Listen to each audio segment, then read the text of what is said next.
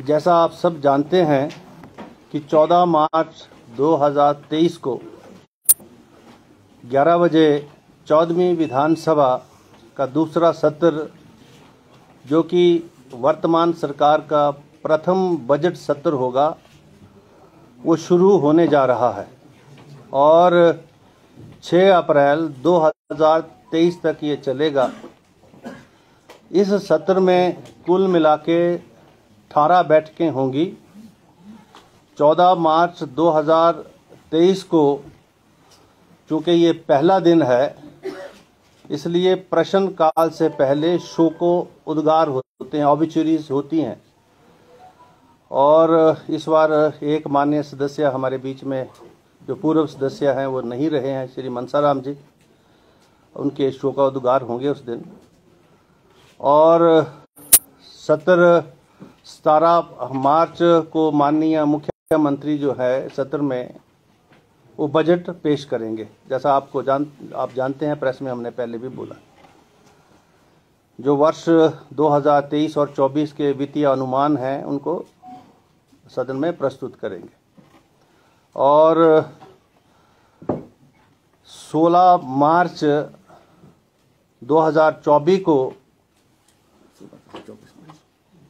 16 मार्च तथा दो चौबीस मार्च को। मतलब ये कैलेंडर सतारह को तो बजट होगा। बजट के बाद अवकाश है। फिर सोमवार को जाके इसके ऊपर चर्चा शुरू होगी। सतारह को फ्राइडे है।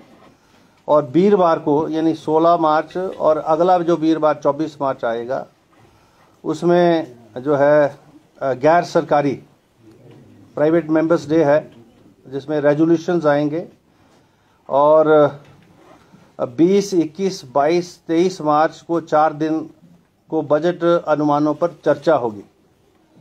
और जिसका अनुमानों पर चर्चा की जाएगी सताईस अट्ठाईस उनतीस मार्च तीन दिन ये जो है चर्चा का उत्तर भी उसमें आएगा और उसके बाद सताईस अट्ठाईस उनतीस को तीन दिन को जो हमारी डिमांड्स हैं बजट की उनके ऊपर चर्चा होती है कट मोशंस आते हैं।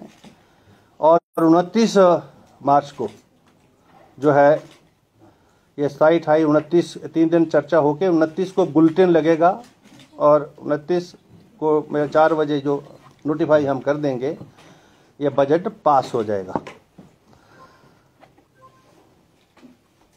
कुल मिला के अभी तक विधानसभा के पास, हमारे पास पाँच सौ टोटल जो प्रश्न हैं, वो आए हैं। जिसमें 300 कानून ऑनलाइन और एक सौ बावन ऑफलाइन, ये हैं स्टार्ट क्वेश्चन, जिसकी सूचना जो है सदन के अंदर माननीय मंत्री, माननीय मुख्यमंत्री देंगे। और एक सौ उनानवे जो हैं, वो अनस्टार्ड है, जिसकी जो है उत्तरों के रूप में सूचनाएँ जाएँगी, जिसमें एक ऑनलाइन है 25 ऑफलाइन है, जो अभी तक आए हैं हमारे पास। लेकिन अभी समय है और ये 12 मार्च तक 22 मार्च तक जो है अभी समय है सभी सामान्य सदस्य प्रश्न भी पूछ सकते हैं और उनकी सूचनाएँ जो है उनको उपलब्ध कराई जाएँगी विभाग के माध्यम से। और साथ में अभी हमारे पास नियम 101 के अंतर्गत चार सूचनाएँ तथा एक नियम 130 के अंतर्गत तीन सूचनाएँ प्राप्त हुई हैं। तो ये अभी तक जो हमारे पास, जो विधानसभा के अंदर जब से सेशन नोटिफाई हुआ है, तब से लेकर मान्य सदस्यों के द्वारा पूछी गई विभिन्न जो है नियमों के माध्यम से जो सूचनाएँ थी, उसका ज़िक्र मैंने अभी किया है। और अभी इससे पहले प्रेस गैलरी कमेटी की मीटिंग हुई है। प्रेस गैलरी कमेटी के सभी सामान्य सदस्य उसमें उपस्थित थे और वो सारे विषय चर्चा में आए हैं।